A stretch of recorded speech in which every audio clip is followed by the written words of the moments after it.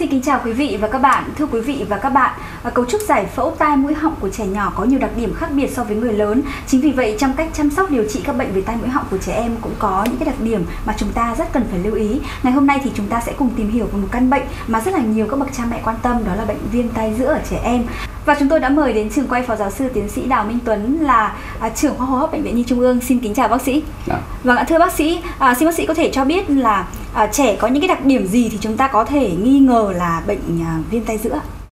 Có thể nói rằng viêm tay giữa là một bệnh khá hay gặp ở trẻ em, đặc biệt trẻ nhỏ. Và cái quan trọng là mặc không những hay gặp mà cái biến chứng của nó hay là tính chất nguy hiểm của bệnh lý viêm tay giữa là điều đáng để các bậc phụ huynh quan tâm. Trên giải phẫu chúng ta biết rồi, đây là tay trong, đây là ống tay ngoài và cái vùng này là tay giữa.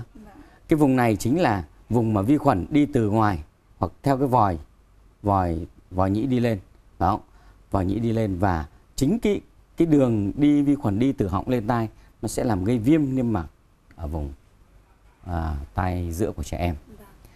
À, tôi nhân đây tôi cũng xin nói để mà chúng ta nghĩ tới một đứa trẻ hay gặp ở lứa tuổi từ 1 đến 5 tuổi mà có biểu hiện của một cái viêm tai giữa cấp tính thì chúng ta có những triệu chứng sau đây. Thứ nhất là trẻ sốt. Thứ hai, cái dấu hiệu thứ hai rất quan trọng đấy là trẻ đau tai. Thế nhưng đau tai ở đây thì trẻ nhỏ nó không biết kêu đau tai. Trừ khi trẻ lớn 4 năm tuổi nó có thể nói được và nó có thể kêu được đau tai. Nhưng hầu hết là trẻ cái dấu hiệu gián tiếp để nói rằng trẻ đau tai đấy là khi ta chạm vào tai của đứa trẻ hoặc là ta vệ sinh tai cho nó bằng bông ngoài tai thì đứa trẻ đau khóc thét lên. Đấy là một dấu hiệu. Cái dấu hiệu thứ hai là đứa trẻ hay bứt tai, vò tai bứt tai, rồi nằm nghiêng đầu đi tránh để tránh cái tình trạng bị tác động vào tai. Thế và dấu hiệu gián tiếp để nói rằng trẻ có vấn đề ở tai, đấy là trẻ quấy khóc, trẻ thậm chí sốt cao, thậm chí nôn mửa. Đấy, và đấy là những dấu, dấu hiệu lắc đầu, đấy là những dấu hiệu mà có thể có vấn đề liên quan đến tai, đặc biệt là viêm tai giữa.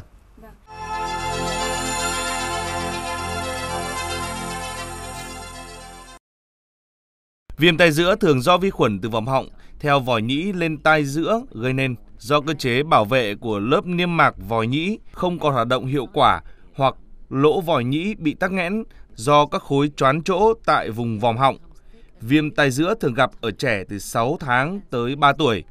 Trẻ thường mắc viêm tai giữa do viêm VA lan vào vòi nhĩ, làm cho vòi nhĩ bị viêm và tắc lại. Đặc biệt hệ thống niêm mạc đường hô hấp niêm mạc mũi họng, niêm mạc hòm tai, niêm mạc khí phế quản. Ở trẻ rất nhạy cảm, rất dễ phản ứng với những kích thích bằng hiện tượng xuất tiết dịch, làm cho dịch ứ động nhiều trong hòm tai, gây viêm. Nếu không được điều trị triệt để, bệnh có thể gây ra các biến chứng nguy hiểm như viêm màng não, áp xe não, gây liệt dây thần kinh số 7.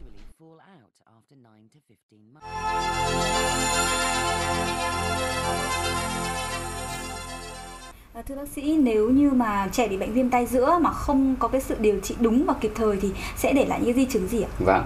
Trước khi nói rằng cái biến chứng của viêm tai giữa thì uh, tôi muốn nói thêm tức là hai cái dấu hiệu để nhận biết viêm tai, một là đau tai. Thứ hai, sau giai đoạn đau tai một hoặc hai ngày chi đó thì đứa trẻ sẽ xuất hiện triệu chứng chảy mù tai. Dấu hiệu chảy mù tai khi đã chảy mù tai ra rồi thì trẻ sẽ bớt đau đi, có thể sốt cũng sẽ giảm đi nhưng mà các bà mẹ lúc bây giờ sẽ nhận biết được con mình một cách chắc chắn hơn. Nếu chảy mù tai chắc chắn đấy là viêm tai giữa. À, cái biến chứng nguy hiểm nhất của viêm tai đấy chính là viêm tai xương trũng. Vâng. có nghĩa là gì? Từ cái tổn thương ở vùng tai giữa thì không được điều trị. Cái ổ viêm ổ tổn thương vi khuẩn nó sẽ làm hoại tử vùng này và nó xuất ngoại ra cái vùng xương trũng ở phía sau tai. Ở đây là một cái tỷ lệ biến chứng khá là nặng này vâng. ngoài ra nặng hơn nữa có thể vì cái tai giữa này đến tai trong nó rất gần màng não của trẻ em. Vâng. rất gần màng não. Nếu như cái ổ viêm này mà không được điều trị thì cái tổn thương này nó sẽ xâm lấn vào màng não nó gây viêm màng não mủ vâng. đây là một biến chứng hết sức nặng nề hết sức nặng nề và cái tỷ lệ tử vong rất cao nếu như từ viêm tai giữa cháy mủ viêm tai giữa cấp và biến chứng trở nên viêm màng não mủ ở trẻ em À, thưa bác sĩ, chương trình à, tư vấn sức khỏe mỗi ngày có nhận được uh, một cái email của khán giả Hà Thu ở địa chỉ hà thu 1205 a gmail.com và khán giả có hỏi là à, thưa bác sĩ, bệnh viêm tai giữa thường xảy ra đối với những nhóm đối tượng nào và khi nào thì trẻ bị viêm tai giữa cần phải nhập viện điều trị? Vâng. À, như lúc nãy tôi nói đấy, tức là cái đối tượng mà hay viêm tai giữa nhất đấy là những đứa trẻ mà ở cái lứa tuổi từ 1 đến 5 tuổi. Thứ hai, nếu không đứa trẻ mà lại cái thể lực nó yếu. Đứa trẻ suy dinh dưỡng đứa trẻ còi xương đứa trẻ không được tiêm chủng đứa trẻ không được mẹ bú sữa mẹ thời kỳ nhỏ. Thì đấy là những đứa trẻ có nguy cơ cao dễ gây viêm nhiễm đường hô hấp trên nói chung và đặc biệt viêm tay giữa nói riêng. Một trong những cái nguyên nhân gây viêm tay giữa liên quan đến đấy chính là viêm VA và à, vừa rồi tôi cũng đã trình bày cái viêm tay giữa và đặc biệt là biến chứng của nó là viêm tay xương trũng thì trong trường hợp viêm tay giữa nặng, đứa trẻ có nguy cơ nhiễm trùng toàn thân hoặc là cái tình trạng mà cái ổ mổ trong tai không được tháo dẫn thì chúng ta phải đưa trẻ đến bệnh viện để các bác sĩ tai mũi họng hoặc bác sĩ nhi khoa can thiệp dẫn lưu cái mủ của cháu trong ống tai trong tai giữa ra hoặc phải đặt ống thông khí hoặc nếu như có biến chứng viêm tai xương trũng phải tiến hành điều trị tích cực. Vâng. Vâng. À, vệ sinh tai cũng là một cái biện pháp ừ, rất là quan trọng vậy thì bác sĩ có thể hướng dẫn một cách cụ thể và ngắn gọn về cách vâng. vệ sinh tai cho các bậc à, thông thường thì trong tai cái niêm mạc nó sẽ tiết ra những cái ừ, một số cái chất xuất tiết để làm ẩm cái niêm mạc và chính nếu như cái cái chất xuất tiết đó được tích tụ nhiều lần thì nó sẽ dễ chúng ta tạo thành cái chúng ta gọi là cái giấy tai vâng. đó nhiều trường hợp cái giấy tai nó khô nó cứng lại nó sẽ đút nút lại đút nút lại trong ở ống tai ngoài ấy và nhiều khi nó làm cản trở cái thính lực của đứa trẻ. Mà nếu nguy hiểm hơn, vi khuẩn nó lại làm cơ hội nó phát triển, nó rất dễ có thể từ đó để dẫn đến viêm tai. Thế thì một cái nguyên tắc là các bạn phải, các bà mẹ phải được vệ sinh tai hàng ngày cho đứa trẻ bằng những cái tắm bông nhỏ vừa kích thước và cố gắng làm sao dùng những cái đèn soi tai. Đèn soi tai kiểm tra trước và sau khi chúng ta vệ sinh cho trẻ.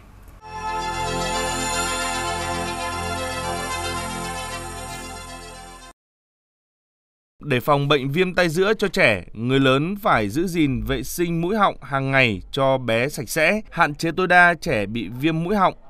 Khi trẻ nôn chớ, không nên đặt trẻ nằm đầu thấp vì chất nôn dễ tràn vào tay giữa. Khi gội đầu cho trẻ, không nên hạ thấp đầu quá, nước sẽ chảy vào tay giữa gây viêm. Nếu trẻ bị viêm họng và viêm VA thì phải điều trị dứt điểm, đúng cách vì đó là nguyên nhân gây viêm tay giữa. Trong nhiều trường hợp, nếu viêm VA quá nặng phải tiến hành nạo VA. Khi có chỉ định của bác sĩ, khi nghi ngờ trẻ bị viêm tay giữa, các bậc cha mẹ cần đưa trẻ đi khám tại chuyên khoa tai mũi họng ở các bệnh viện có uy tín. Tuyệt đối không được tự ý điều trị cho trẻ. Lưu ý viêm tay giữa là một bệnh dễ tái phát, vì thế trẻ cần được theo dõi thường xuyên ở các cơ sở y tế chuyên khoa.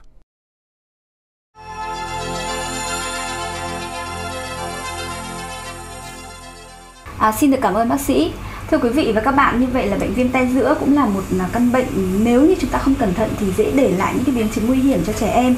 À, những cái cách vệ sinh cũng như cách tăng cái sức đề kháng cho trẻ mà bác sĩ vừa chia sẻ trong chương trình à, hy vọng sẽ là những thông tin bổ ích dành cho chúng ta. Và bây giờ thì chuyên mục tư vấn sức khỏe mỗi ngày của chúng tôi xin được khép lại. Mọi thông tin và thắc mắc quý vị có thể gửi về hòm thư tư vấn sức khỏe mỗi ngày a vtc.vn. Xin kính chào và hẹn gặp lại vào giờ này ngày mai.